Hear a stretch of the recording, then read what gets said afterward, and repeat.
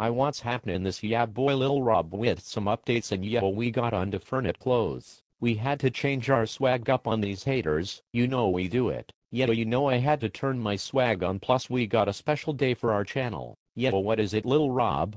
Oh yeah we got 10,000 channel views. And that's cause of all the people out there, my subscribers and friends. So Rob Jr. what you gonna do for the 10,000 views?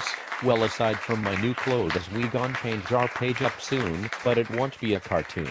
Yeah, it's gon' be a pic of us, well me I mean, we the same dude. Yet I am the more cooler person though. Say who Rob J, all the people say I am, you the one who used to be put in dumpsters like a loser. Yeah like you FN liar, you go into hell telling stories like that you know what mamas say about lying. She my mom fool you adopted, Anyway I'm grown, so I can lie if I wanna. You can burn in hell if you wanna. That what you can do. Anyway we got updates on our cartoon. We gotta cancel it for a while. Yeah only cause we need to get our drawing skills back up in top form. We been busy and our drawing been slacking bad. Yeah like his dead love life. You gon' be getting a new cock and slick boy don't get hog-tied and found in Peace River in Polk County, Florida homeboy. You gon' kill me for talking but you, dog you cold. Let me pause for a second and calm down.